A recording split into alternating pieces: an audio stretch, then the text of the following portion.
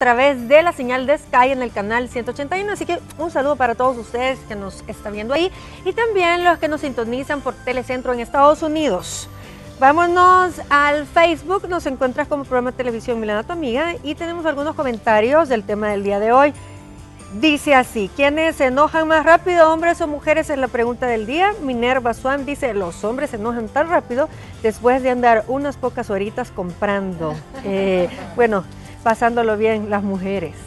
Es cierto, no tienen paciencia para las compras. Dore Gutiérrez, hombre sin duda alguna. Rami Ramírez, pues en mi caso particular, ella. Ismael García, las mujeres, sin duda. Marlene Quijano, depende del carácter y el motivo. Diría que ambos. María Margarita Pineda, los hombres. Bella Carmencita de López, yo digo que los hombres porque pasan más frustrados con tanto que deben pagar. Calita Delgado. En mi caso, yo, mi temperamento es más fuerte que el de los hombres y creo que las mujeres somos más pacientes con algunos temas, pero en cuanto al hogar e hijos, explotamos. Los hombres quizás en temas de fútbol o política se encienden rápido o algún pleito callejero. La testosterona, diría la licenciada. Ah. William Gómez, bueno, creo que de un hombre, que uno de hombre, pero uno no acepta por el machismo. Arely, las mujeres somos más sensibles. Bueno, estos son algunos de los comentarios del tema de hoy. Del- del ah, depende, ¿verdad? si no zodiacal. Yo soy escorpión. Ah, cuidado. Yo soy Aries. Aries. Lo- dicen que Sos por eso son pasivo. enojados también. Son No, pasivos. los Aries dicen que son Yo enojados. soy Leo, imagínate, sí soy carácter. Ay, Leona. Leona. ¿Qué puedo decirle? Mire, quería aprovechar, quería aprovechar de mandarle saludos a Oscar Cristales, que le vi este saludo de Aceditas. Así que un saludo al aire, Diego Borgo se llama. Gracias por estar pendiente de mi Twitter. Me encuentras como Emiliano Mayor. Yo creo que para concluir el tema, fíjate que eh, yo creo que depende de la persona. Porque yo conozco caballeros que te aguantan, les aguantas a las mujeres. Y yo digo, qué paciencia. Y eh, conozco otras mujeres que igual. Mira, ¿y cómo será estar con un militar o con un PNC? No sé, que están acostumbrados a hablar fuerte así. Fíjate que yo que. En la trato- calle, en la casa me imagino. Ah. No, fíjate que yo que cierto. trato con, con No, bastante militar sabe. ahora, eh, tienen, son bien respetuosos. Sí, O sea, no, pero como están acostumbrados a un régimen así. Ajá, todos son muy respetuosos. Ah, claro, allá afuera, en su casa no se quedarán, ¿verdad? pero eh, ya en trabajo son bien respetuosos.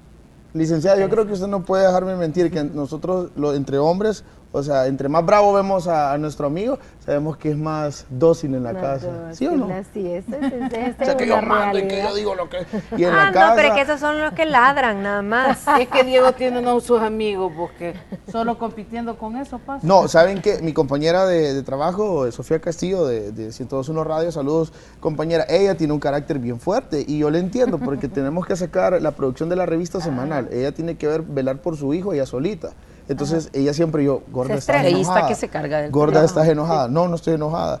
Y, o sea, tenemos que salir al aire siempre alegres. Pero yo entiendo toda la carga que ella Es con que la la que ella pregunta que le hace uno ocupado y está enojado, callado. Es- ah, No, mira, esa está es otra enojada. cosa. ¿Por qué el hombre no tiene como esa sensibilidad? El tacto. ¿Qué te pasa? Nada. Y las mujeres, porque nunca decimos lo que nos pasa? ¿Por Nada. miedo, por pena o qué será? No, pero es que es, acuérdese que venimos hablando de la opresión, opresión, opresión de su interior. Por eso es que él es más frustrado, por eso eh, como las frustraciones, no puede hablar mucho, por eso tiene más tendencia al alcoholismo, a la depresión, a la drogadicción, porque siempre han pasado, siempre han pasado como sepultando Sí. su sensibilidad, su vulnerabilidad, todo lo que sea de demostrar miedo, de tristeza, impotencia, eso es un sinónimo de, de vulnerabilidad, entonces lo convierten en rabia. Por eso yo a todo el muchacho, al desviado de la conducta, que es tan agresivo, que es tan violento y que lleva hasta la delincuencia, dentro de esos muchachos hay mucho dolor, mucha tristeza y mucho sufrimiento, que todos somos responsables, pues los papás, los maestros, de alguna manera eh, eh, incidimos en esa Pero, agresividad. pero en cuanto a la comunicación en la pareja, que generalmente, digamos, eh, que el hombre sabe que le pasa algo a la mujer porque está rara. El hombre Pero empieza como a adivinar porque ella no va a decir, solo dice que, le pasa, que no le pasa No le nada. pasa nada. La mujer, la mujer. Exacto. Bueno, acuérdese que... La, eh, ¿Por qué no quiere hablar? Muchas, muchos eh, disfrazamos nuestras emociones por miedo a la reacción, porque si imagínense, el hombre le dice, ¿qué te pasa? Y le empieza a decir, es que estoy celosa porque viste que te les quedaba viendo a mi hermana, o- entonces va a decir, tal vez es mentira, tiene duda de lo que va a reclamar, entonces le dice, no, no me pasa nada, pero en realidad le pasa algo. Pues, Pero, entonces- licenciada, ¿qué sí. consejo le puede dar a aquellas personas que por no discutir con la pareja se, tragan todo y empieza ese resentimiento y como decía Claudia, ¿verdad? Eh, lo van, lo van, lo van, lo van guardando, lo van guardando. Eh, ese, eh, hay muchas personas, hay mucha mujer o mucho hombre también que pasa esa situación. Dice, no le voy a decir nada porque si le, voy a decir- si le digo algo y como es enojada, me lo voy a tragar, reacción me lo voy a primero. tragar. Y igual una mujer le pasa lo mismo. O sea, ¿qué consejo le podemos dar? Porque definitivamente sí siento que no es sano. Por evitar, eh, se tendría que hacer o definitivamente se tiene que hablar a pesar de lo que pase. O sea, Yo creo que sí, se- sí, no es que crea, es, es, Es necesario. es necesario hablar, es necesario expresar lo que Sacar estamos todo lo sintiendo y no dejarlo, no irlo acumulando por años y mes, meses y meses y años, porque eso no solamente queda, pues sí, no dice nada. El problema es que eso lleva, se va a su interior y ahí es donde empiezan las úlceras, el cáncer, cierto. la diabetes, Ay, sí, sí, sí. eso, no solamente enojos. porque como se va para adentro, entonces ahí vienen todos los, lo, ¿cómo se llaman? Los por eso mejor líquidos, soltera los ahora. Entonces, no nos complicamos. ¿verdad? eso No, no, por eso. sí, se No, daña, soltera, daña la salud. Entonces Susan me decía, ¿qué decirle a las televidentes? Hablen, escríbanlo primeramente. sí. Cuando uno escribe, disciplina el pensamiento, Está organiza, organiza lo que quiere decir y léalo y luego déselo y dígale, mire, o por lo menos, pero que lo saque o que se lo cuente a alguien. Nosotras siempre contamos la mujer. Pero no a las chambrosas. No a las chambrosas, porque entonces- pero Pero eso cuidado, es chambroso. mira, me importante. tanto y le ponen pata a la mejor amiga. entonces- Saber a quién Las mejores amigas quitan, mejores los maridos le quitan los esposos. y hay que escribirlo. Y a las, a las mujeres que están viendo el programa, fomenten el deporte en sus hijos, a sus esposos, si quieren ir a jugar fútbol tres o cuatro veces a la semana, que vaya, Ahí- ahí porque es una estrés. manera de liberar ese montonazo de hormonas, mejor que Para haga- esos niños también, que ¿verdad? le dé a la pelota desde y no chiquitos que son enojados, sí. Digo, ¿por qué tan Y porque eso está enojado, entonces hay que mandarlos a que hagan Sí, mucho deporte sí, para que liberen el estrés. ¿Qué, qué les funciona a ustedes cuando, cuando se enojan? ¿Qué, qué te funciona? A mí, a mí me funciona jugar fútbol. Ah, Yo ahí Sí. deses- me desestreso y saco, como decimos, la bronca brava Muy que bien. llevamos ¿Vos? dentro. Escuchar música. ¿Qué te, qué te- qué te quita el enojo? Mm, No, Llorar, salgo no sé, a ¿qué? beber algo. Yo Un buen café, desahogo, el desahogo. café, Sí, porque no algo, dijiste qué.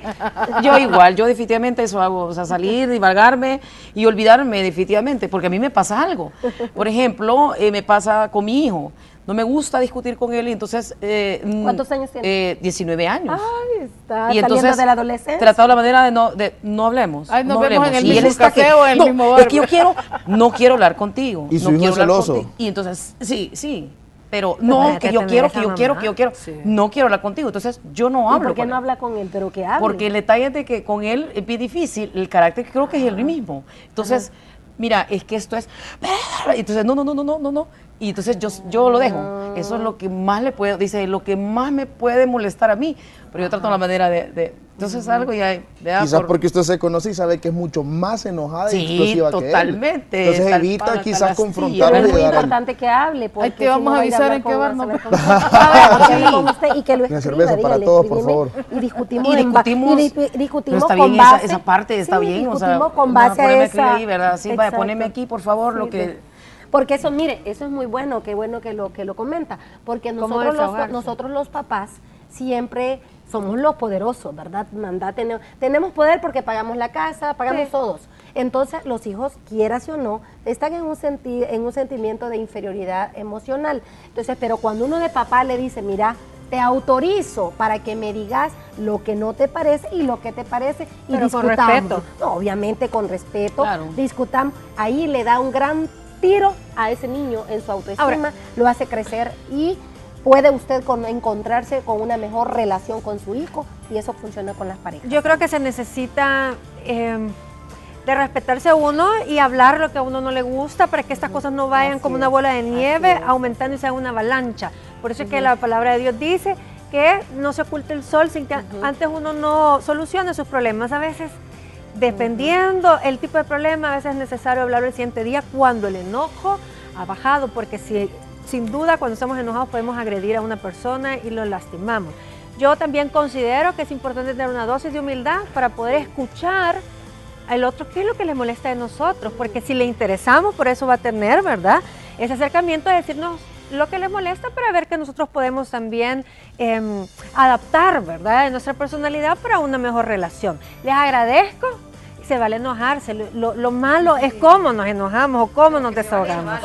Y el tono con que se dicen las cosas. Un beso. Nos vemos mañana. enojar, pero después